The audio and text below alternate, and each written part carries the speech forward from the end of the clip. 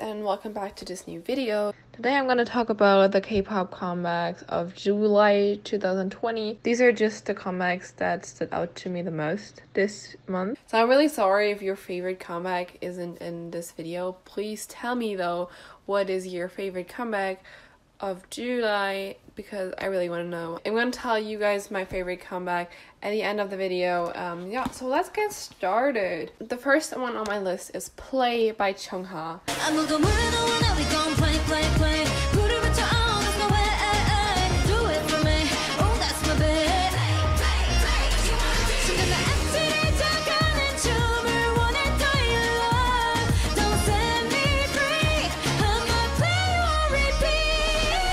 Chungha's last comeback, Stay Tonight, let's just say it was very, very iconic, but it just didn't stuck with me. I just stopped listening to it after a while, so I hope they wouldn't be the same for this comeback, and it's definitely not the same. Play, um, I'm playing it on repeat. The song is so good and the choreography and the outfit and the stages like Chungha is a queen and she has that title for a reason so yeah. I love that one the red outfit. It's just so summery and like you want to dance you want to like really have fun with this song. I love it. Playing it in the car so amazing. And the thing is there is a rap part and when she promoted it so on the stage the rapper wasn't with her but she just danced over the rap and it didn't even go by notice that there was no rapper on stage and that is just how great her stage presence is. Because usually if there's a rap part and the rapper is not present dancers have to do something and it usually looks not that good or they just cut out that whole part which i find pretty sad but that's just how it is. So yeah. I was really happy to see they didn't cut out this part and she just like vibes with it. And also the dancers which are doing like these um breakdance moves. Love that. When I watched the music video, I was like, please tell me these dancers are in the stages too. That would be amazing. And the stage design, everything, loved it so so much. The next one on my list is Monster by Red Velvet, Seulgi and Irene.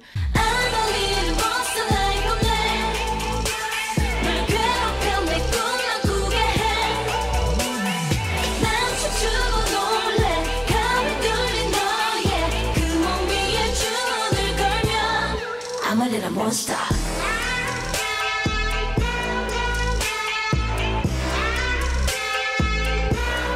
I'm a little monster. Um, I don't even know how to describe this comeback because it was just so much. Holy shit. I know we all anticipated this when the teasers came out and we really wanted to know what is going on. And then we saw like this subtle lesbian thing going on and we all were like, yep, we're here for it give it to us and they did it so well. The dance was incredible. I mean all that like when um like i think it's Seulgi holding irene on the neck it's not really healthy for irene like on the neck. And she said that it hurts her and i don't want her to do it if it hurts and she like yeah. But that part i was shocked when i saw it. I was like what the hell and then like in the music video, her face gets that monster on top of it. Like, oh my god, that was uh, whew, I was shocked.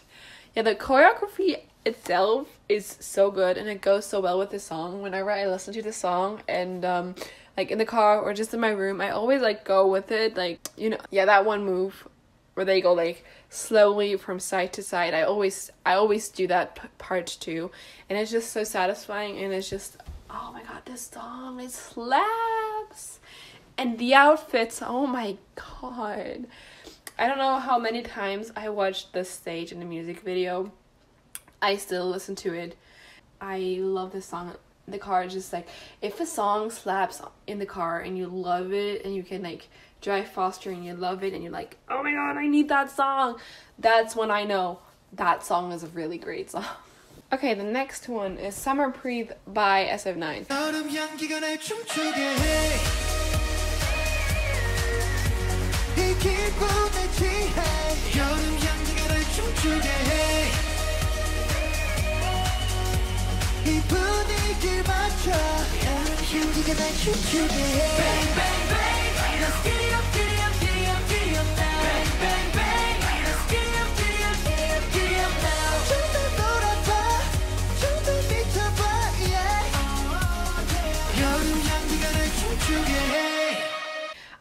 Um, SF9 is one of my favorite groups, and um, I did an unboxing on their album, and I have all of their albums, so I was really excited for that comeback, and we all were like, well, it's gonna be a summer comeback, and then they came back with like this dark bar concept, and like I was so confused, and with the guns, and I was like, wait, I wanted a summer comeback, and oh my god, the scenes in this bar, whew, I'm um I cannot describe how much I love it.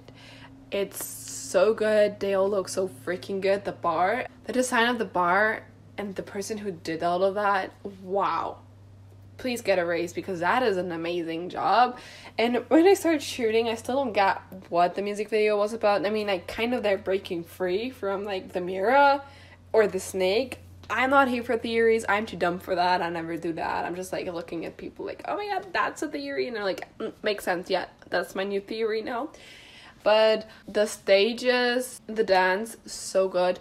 This bang, bang, bang, giddy up, giddy up part. Oh my god.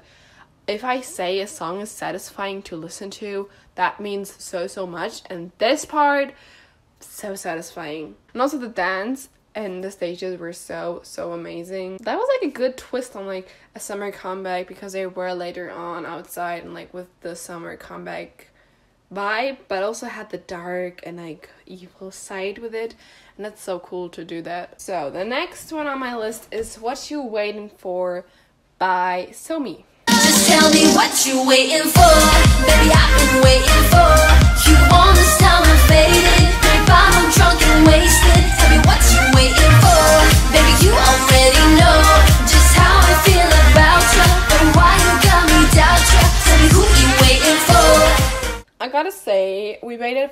around a year for her comeback and I wasn't that happy with Birthday. I mean, sure, it was a cute and fun song, but it just didn't seem to be a debut. So I hoped she wouldn't go into a different uh, direction from her debut song and maybe show off what else she can do because I feel like this song she did, like Birthday, wasn't like the concept for her and I really hope she gets better outfit. I expected something more upbeat from her and I was like, mm, the song I'm not gonna listen to that often, but I see myself listening to this song a lot lately. It's just so good. If you don't don't want to to upbeat song if you just want to have the song playing in the background while you're laying on your bed going through Instagram. That's the song for it. But what I realized watching the music video a few more times is that it gives off major like Ariana Grande American pop artist vibes. Maybe it's just me, but I don't know. She seems like the Ariana Grande of K-pop. And the next song or next comeback on my list is Come Back Home by ONEUS. Please come back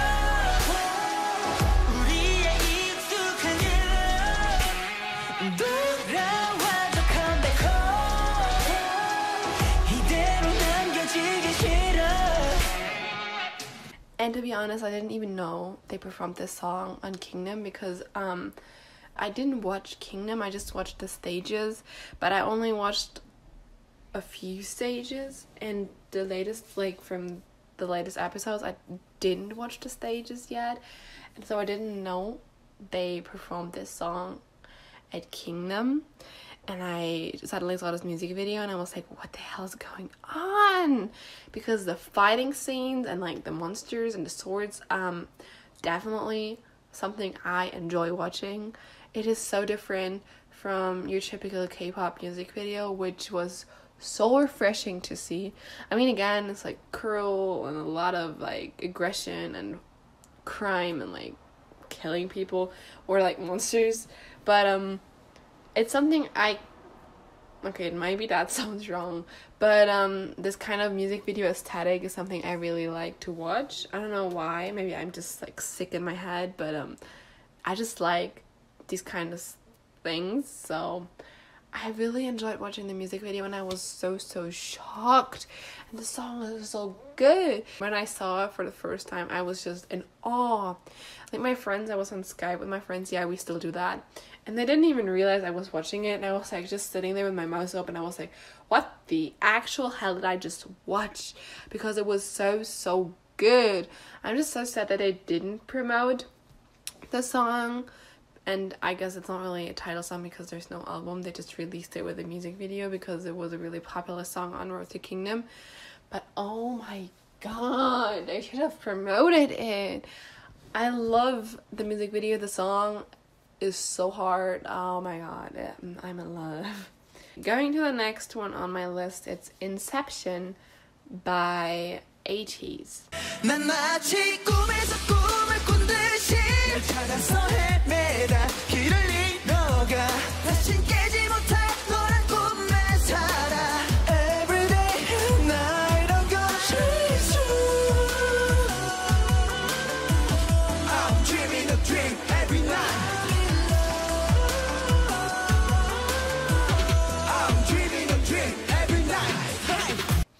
I gotta say I like THANXX more than like Inception song wise, but I know the reason why we all voted for Inception and I did the same.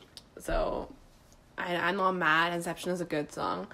Uh, I listened to the B sides of this album. There are only a few groups I listen to the B sides, and ATEEZ is one of these because I know they never disappoint with their B sides, and for that album, the same. I think it's called To the Beat. That song, great.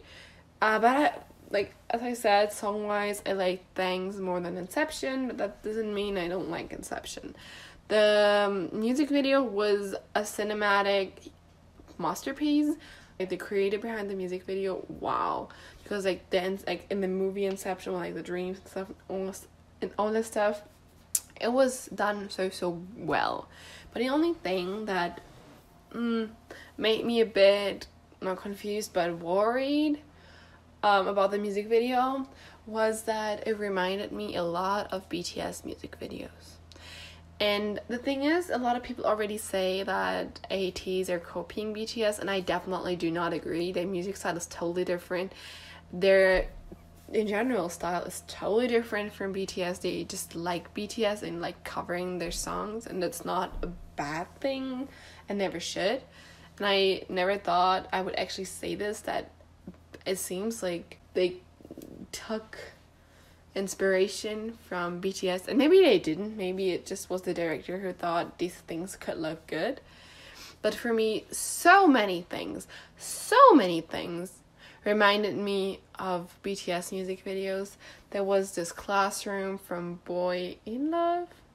Boy in Love right and uh, this hallway which reminded me of Fake Love that's all the things I could I can think about right now. But I remember watching it for the first time, and there were so many more things. I was like, that reminds me of BTS. Please don't tell me it's copied. Please, it's just like the director thought is looking good. I'm not gonna say they copied because that's just a dumb move to do. The next one, and uh, that's gonna be a short one, is Villain by Alexa.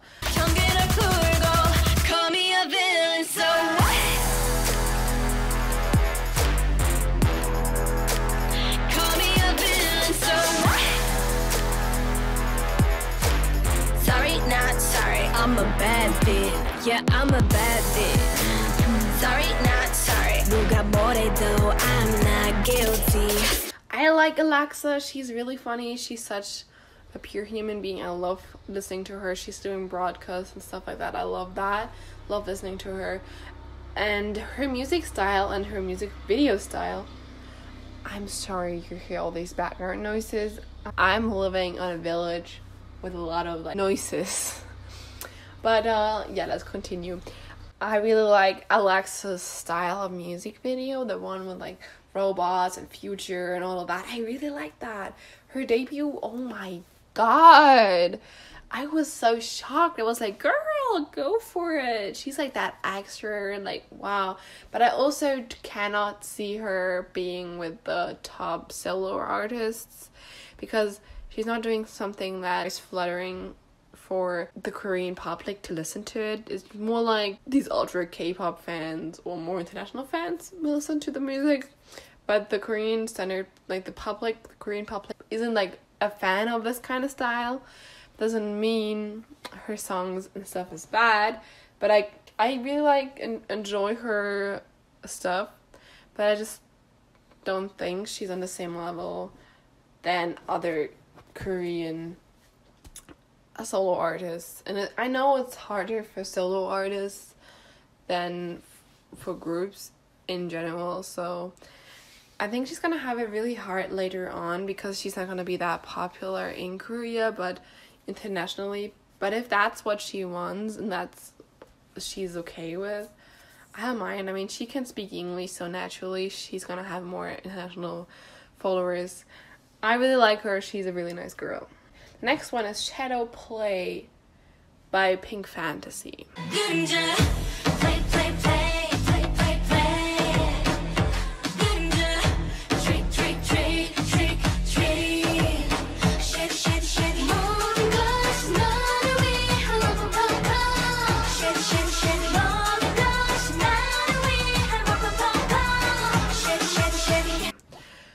Gotta say something in before I'm gonna say my opinion on this comeback.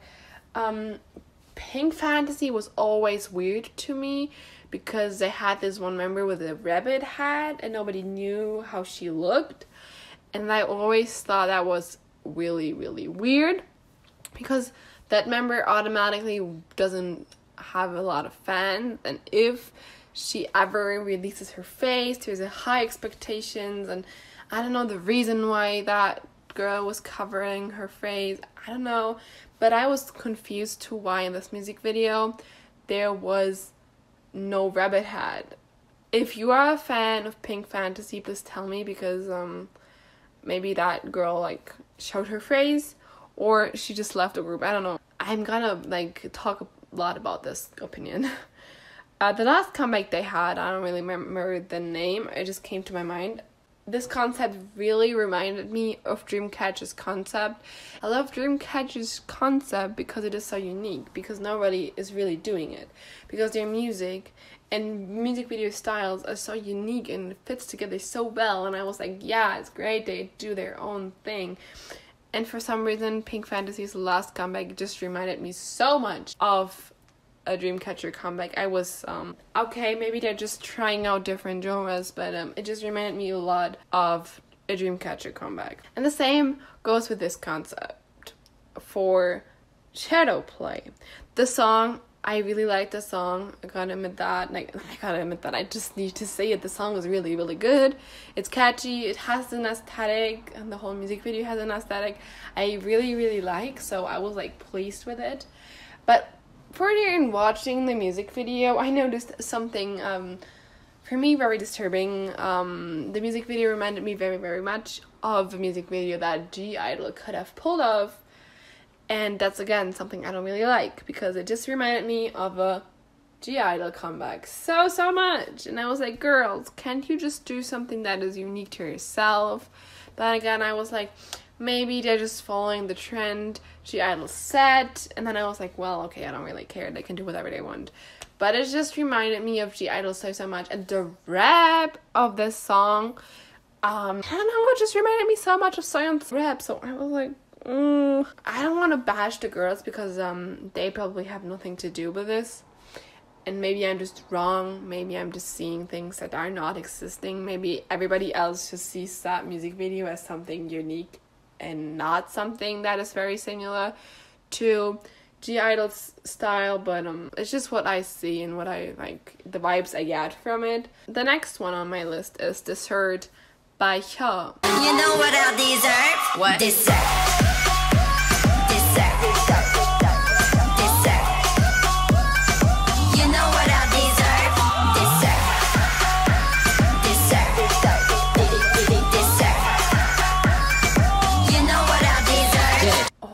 This song. Um, at first listen, I was like, yeah, that's a very, very Hyo song. Um, she's done a lot of songs in that direction, and I love these songs. And Dessert is so, so catchy to sing along.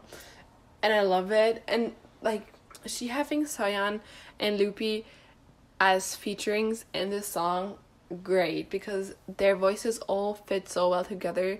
Again, I was a bit like, why Soyeon? They are using her for everything and she's everywhere. Like, why can't you use somebody else from (G)I-DLE if you want to use somebody from (G)I-DLE? But then again, I was like, well, they use her because her voice fits and she's very talented.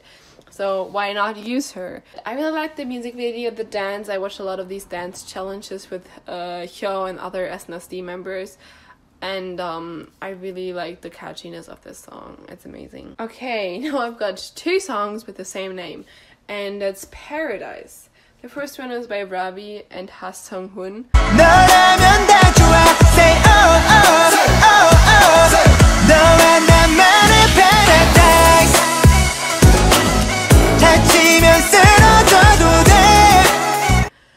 Um, okay. I like the song. It's like a normal summer vibe song, but I can't really see myself listening to it much more. If Ravi puts out a rap song like Asura or Limitless, these songs I was in love with. I'm listening to these songs so much, but I just don't see myself vibing with Paradise. And I don't know why. It's just it's a good song, but I just didn't feel a connection there, you know. And I know there are so many summer songs, and if you compare it to uh, his summer vibes album, like Nirvana, the whole album with Nirvana, these songs I love these songs. So I, I, it's not like Ravi can't do this kind of style, and it's not like the song is bad. It's just the song doesn't stand out to me much.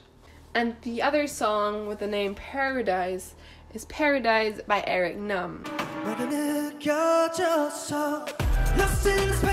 Lost in this paradise 영원 가겠지만 다 지나갈 거야 Cause we were born to fly 눈 감고 그려봐 지금 여길 떠나 꿈꾸던 어딘가 Lost in this paradise Eric Nam is the king of summer songs. Just go and listen to Honestly in the winter and you suddenly feel like you're on the beach in summer times and you're running around in like a hot weather with Eric Nam and you're having fun having some drinks in a tropical bar. You just get that vibe from his songs and his voice and it's just so great. And hearing that he's gonna come back with an album in summer, I was like, yeah, we got another great summer vibe song from Eric, and that's what we got. Paradise, I mean, kind of has a deeper, darker meaning to it, but also, like, it, the song is so great, you can sing along so well. I'm still a bit confused about the music video. If someone knows what the music video was about, please tell me because, um, again, I don't know any theories. I just watched and I was like, well, yeah, I didn't understand, but it looked good. That's what I always do with music videos, so yeah. I didn't really know what's going on, but um, I liked the music video. I liked the song, and I'm gonna listen to Paradise so many times because um, it just gives me that major summer vibe we all know and love from Eric Nam. Next song on this list is Nunu Nana by Jessi Queen.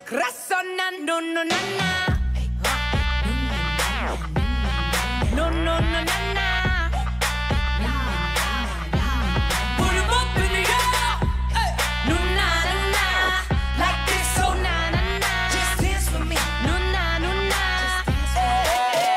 okay, um, that girl, she's a queen. And she proved that with this comeback. I gotta say, Who That Be was like a good song, but I didn't really listen to it a lot. I don't know why. But this song, I don't know how many times I listened to Nunu Nana. I love it. I always vibe with it. I always dance with it, even though I can't dance nor can dance in a sexy way because uh, my body just won't do it. But oh my god this song is so so good. I'm listening to it like every day because um if you listen to this song i just feel like i'm a bad bitch but like still having fun and like kind of like giving me summer vibes. I i this song is so good. I can't even like express it in words. If you haven't watched Jessi's Nunu Nana because it is amazing. And the last song on my list is Waves by Kang Daniel, Jamie, and Simon Dominic.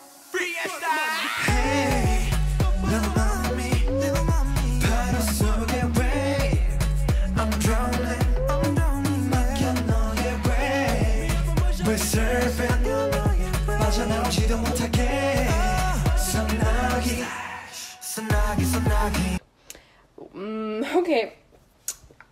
I love Simon Dominic's music. He's a really great artist. I love his rap. Amazing. Jamie, oh my god. She's one of the girl idols I would be gay for, to be honest, because her voice, girl, and her attitude, love that. I love her. So, seeing her in that song, or like listening to her voice in that song and seeing her being like a queen, um, I was totally hooked. I was like, yeah, girl, go for it. She was in Good Girl. And oh my god, I loved her in Good Girl. I fell in love with her voice again because it's so powerful. And she had a good amount of lines in that song for being a feature. And Simon Dominic rap was incredible. I love his tone and his rap style is amazing. Mm, okay, let's talk about Kang Daniel. I never was like the biggest fan of him. I never, I actually never really cared about him because I wasn't a fan of 101. So I didn't really care about him. Never listened to his music and never really wanted to listen to his music. But since two artists I really like are featured on the, his song, I thought let's give it a listen. And that song slaps. And I mean, his voice is definitely not bad. And the song really, oh my god, it's so good. But the thing is, I thought Kang Daniel would be a dancer. I thought he was a dancer in 101. But when you look at the dance sequences of the music video, he's just not in the center. I'm just, I was so confused. Like, I've seen Jamie and I've seen Simon Dominic more than I've seen Kang Daniel in his own music video. Maybe I'm just dumb and didn't realize he was there, but for me, I don't know. It just seemed like he wasn't like that present in the music video. But this part where he sings Hey Little Mommy, it's a bit weird. If it would have been Simon Dominic singing it, I wouldn't thought it would be weird since it's Simon Dominic, but with Kang Daniel, knowing he has a girlfriend and knowing that girlfriend, I felt a bit uncomfortable in the beginning of him singing that line. But later on, I'm just like, I don't care. because I love this song and the song slaps so hard. It's such a good song and you can sing along so well too. It's incredible. And yeah, that was already all the comebacks I wrote down. My favorite comeback in July was definitely Monster by Irene and Seulgi. That song is still on repeat. Or it would be Nunu Nana by Jessi. Yeah, Please tell me your favorite songs in the comments down below. And uh, yeah, see you next time. Okay.